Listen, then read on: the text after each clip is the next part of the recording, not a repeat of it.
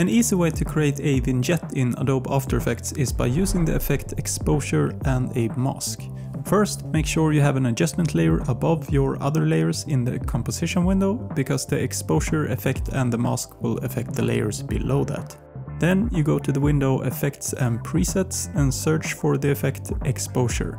Click and drag the one under color correction to your adjustment layer. Now go down to your effect in the composition window and decrease the exposure to a value below zero. For example minus 2, so that everything looks slightly darker. Now we want to light up the middle of the composition back to zero, so you select the adjustment layer, go up to the toolbar, click and hold the shape tool and then click the ellipse symbol. Now when you double click on the ellipse, it will create an ellipse shaped mask in your adjustment layer, perfectly centered and with the same width and height as your composition.